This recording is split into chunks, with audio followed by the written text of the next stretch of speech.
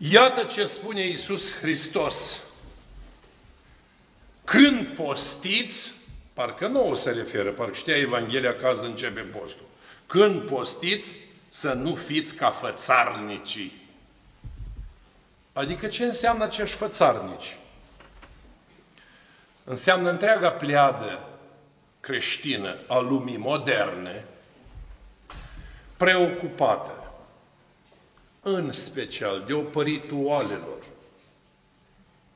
să nu confunde lingura din mâncarea cu un de lemn, cu cea fără un de lemn. Nu cumva să fie vasul în care a fost cândva carne sau pește. Să scoatem dracii din inima noastră și am opărit toate vasele de post.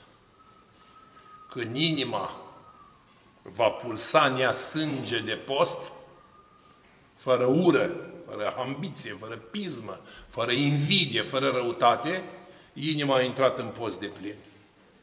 Cât facem lucrul ăsta cu buruiana în buze ca vaca în iarbă și cu coarnele să spargem, nu suntem în post. Suntem fățarnici. Nu vă spun ca o jignire, să nu o luați, Doamne ferește, ca asemenea lucru, ci luați-o ca expresia faptului că Romanii au spus aceasta, corp sănătos în minte, sănătoasă, men sana, corporen sana sau așa, dar Sfântul Vasile spune altceva. Eu am văzut trup slăbănogit de post și rugăciune, dar plin de patim. Și am văzut minte sănătoasă și trup sănătos. Cum? Postul te însănătoșește atunci când îi dai virtutea lui spirituală, schimbarea caracterului interior, trezirea conștiinței, aprinderea candelei inimii, aprinderea minții la rugăciune, cunoașterii lui Dumnezeu, apropiere de Dumnezeu. Și tot același post te ucide, ori de câte ori încep un monstruos scandal în casă, iar femeie barabule, iar femeie fasole, iar cu varza ta, iar cu popii tăi, pune-i să mănânce ce vrea și lasă-l în pace. Ei mai primit postul acela decât înjurăturile și sudălmile pentru doi cartofi fierți, care oricum nu-i aduc niciun folos dacă dumnealui sau dumnea ei sau dumnealor sau alții nu simt nevoia să intre în această lucrare duhovnicească simplă și oferită de bunăvoie. Cela ce va vrea să vină după mine, să se repede de sine și să-mi urmeze mie. Haideți să vă arăt chintesența primelor trei veacuri creștine legate de puterea postului și am să vă arăt chintesența postului modern în raport de slăbiciunea umanității de acum.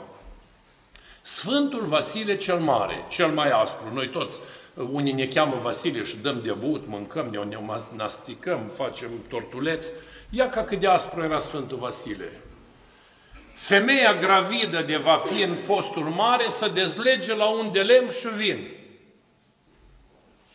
Și vin preoții moderni de astăzi, putem vorbi și aici de aceeași marfă, care îi spun, lasă, nu e o problemă, măcar abține-te de la carne. Ține lunea, miercurea și vinerea și în rest, pentru că porți un copil în pântece, ia lapte, ia brânză, ia ouă. Da pește pot să mănânc, da unt pot să mănânc, da măcar o dată pe săptămână carne pot să mănânc. Deci, vedeți care este râvna postului primelor veacuri creștine și ce fel de creștinism era atunci în raport cu ce creștinism vrem noi acum? Ar fi frumos dacă am putea inventa sau ar fi frumos dacă am putea găsi o metodă de intrat în rai la viteză, numai prin mâncări de dulce, dar spune că cele două aripi ale raiului care zboară spre rai, totuși sunt rugăciunea și postul. Și o pasăre nu poate zbura cu o singură aripă. Dacă îi tai aripa rugăciunii, se prevale în partea cealaltă și dacă îi tai aripa postului, se prevale în partea cealaltă. O să spuneți pe ce vă argumentați când susțineți lucrul acesta?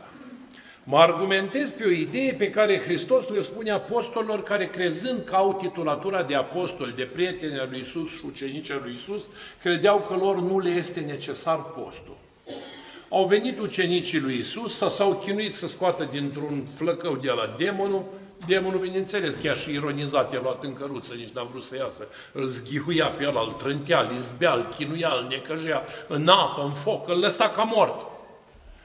Și ce spune tatăl disperat? Iisuse, de multe ori a vrut să-l omoare.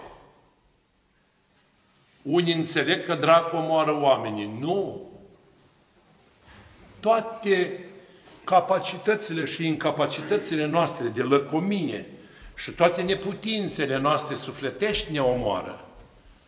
Bea până moare, fumează până moare, droghează până moare, face sex până moare, mănâncă până moare, îi nesâmțit și nesătul până moare, că îl omoară mâncarea, îl omoară excesul de toate.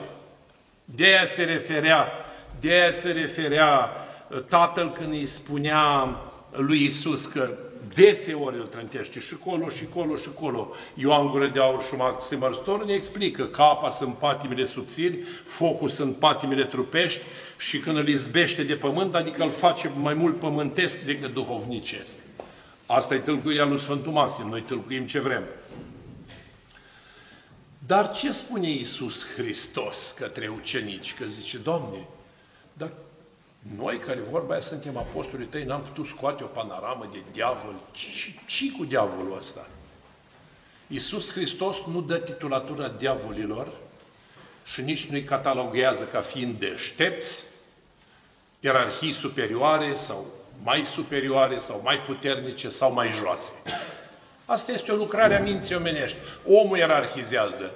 Sfântul ăla e mai mare, Uh, Sfântul ăla e mai tare, Sfântul ăla e mai puternic. Nu, Sfinții sunt Sfinți. Sfințenia este un act harismatic prin care omul intră în dimensiunea dumnezească și odată intrat în slava lui Dumnezeu, tu faci parte dintr-un circuit. Dacă eu scot o piesă dintr-un integrat dintr-un circuit, ăla se întrerupe. Fiecare are același rol, face parte de acolo. Așa sunt sfinții la Dumnezeu, sunt sfinți.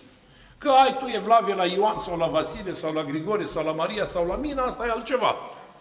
Dar ei sfinții sunt sfinți. Ei, așa este și cu drăcimea. Odată ce sunt răzvrătiți contra lui Dumnezeu, orice gest vor face, îl vor face tot timpul împotriva lui Dumnezeu. N-ai să vezi un drac făcând mătănie și spunând, Doamne, miluiește. Ca drept dovadă n-ai să vezi niciodată un necredincios sau un ateu făcând mătănie și spunând, Doamne, miluiește. Asta o altă generație, uh, sofism se cheamă, colegi. Și ce spune Hristos către apostoli? Feciori, acest soi de draci nu se scoate cu scamatorie, cu impresii, cu exorcisme. Acest soi de draci iese singur numai cu rugăciune și cu post. N-a spus numai cu rugăciune. N-a spus numai cu post. Numai cu rugăciune și cu post. Unde întâlnim tendința numai de rugăciune și unde întâlnim rugăci- tendința numai de post? O găsim tot la Isus Hristos, care vinde cu o altă fică îndrăcită de undeva din Siria Finiciei, când femeia hananiancă vine la Isus, strigă, urlă, manifestă. Și apostolii plictisiți îi spun lui Isus, Doamne, da, slobode pe asta că face aici gălăgie, nici nu te putem asculta, nici nu te putem concentra, dar Isus o lăsa să strige pentru că trebuia să pună în aplicare planul divin, să le arate oamenilor cam cum se face o rugăciune stăruitoare la Dumnezeu atunci când vrei ceva, nu așa uh, Știți, părinte, am dat pomennic, dar am picat examenul, trebuia să înveți, dar n-ai vrut să înveți Sfânta Paraschiva și cu Maica Domnului locul tău, nu s-a dus ele la examen, tu te-ai dus. Și aia strigă și mai tare, și mai tare, și mai tare, trece de tot uh, alaiul ăla și ajunge la picioarele lui Isus.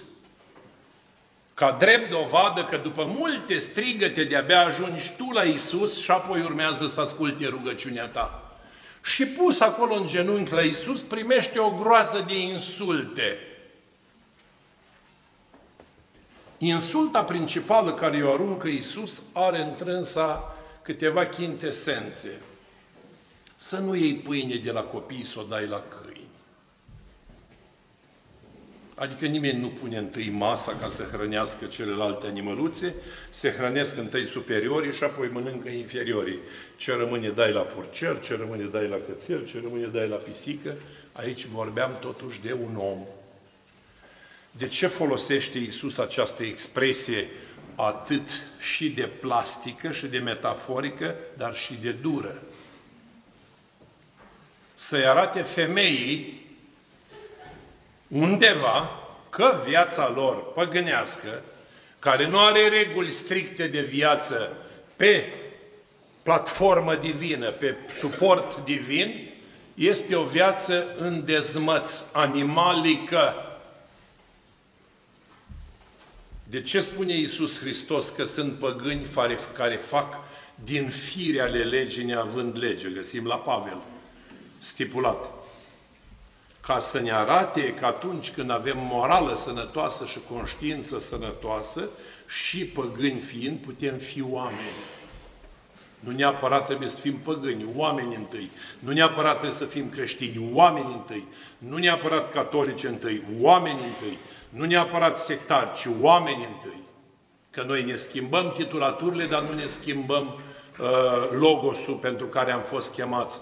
Omul a fost chemat să-L cunoască pe Dumnezeu, aceasta e adevărata viață veșnică. Ca lumea să te cunoască pe tine singurul și adevăratul Dumnezeu și pe Iisus Hristos care l-a trimis în lume.